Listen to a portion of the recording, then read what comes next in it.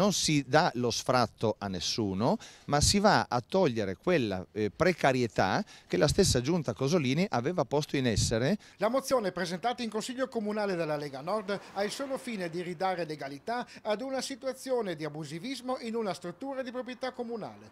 Lo sottolinea con determinazione il capogruppo Paolo Polidori, il quale ricorda come l'associazione Iabasta stia utilizzando i locali di via Orlandini 38, la cosiddetta Casa delle Culture, in forza di un atto che avrebbe dovuto avere carattere temporaneo. Non c'era più un contratto in essere di locazione con l'allora provincia, la giunta Cosolini ha scelto stranamente prima delle elezioni di legalizzare eh, con questo atto di intesa ma una situazione di assoluta precarietà e che quindi la precarietà presuppone il fatto che non si può andare avanti sine die. Questo anche nel rispetto di altre associazioni che potrebbero eh, eh, vantare il, il, il, fatto che eh, non è possibile andare eh, a tempo indeterminato con una situazione precaria. L'immobile è di proprietà dell'Ater che ancora un anno fa aveva delegato il comune di individuare un'associazione di volontariato a cui assegnare gli spazi.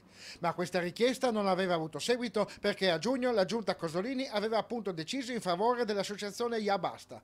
Non c'è alcuna volontà di colpire specificamente un soggetto che, va detto, è molto lontano in termini ideologici dalla maggioranza che dal giugno 2016 governa il comune, continua Polidori. Tant'è che non vi sarà alcuna preclusione a priori sul nuovo assegnatario degli spazi. Questa mozione va semplicemente a delegare la giunta, ad affidare alla giunta di mettere in piedi quelle procedure per la formalizzazione, poi con un bando o con affidamento diretto, a un'associazione meritevole, quindi non diciamo non si può fare più con chi è lì dentro, ma diciamo sarà la Giunta a determinare i criteri di assegnazione a un'associazione meritevole di eh, avere in concessione ad uso gratuito quella struttura.